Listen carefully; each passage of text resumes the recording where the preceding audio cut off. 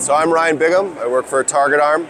Our device is called Tular. It's a launch and recovery system that can be used on the move. So think drone in a box, but it's a mobile platform. So you can be driving or on a train or bus or anything you want, even an airplane.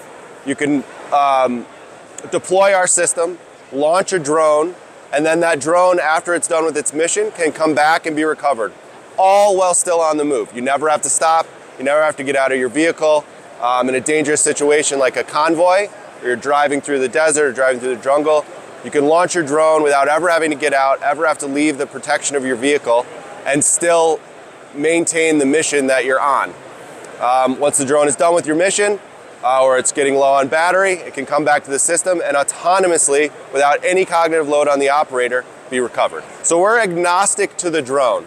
We don't really care what drone you want to use in our system. The way that our system is designed is that the pins, which capture the drone or recover and launch the drone, um, can conform to whatever shape the drone is and whatever drone it is. So let's say the drone is flying back into our system. If it's a little bit off to the left or a little bit off to the right, our system will sense that and only deploy the pins that will make contact with the drone where we want it to be.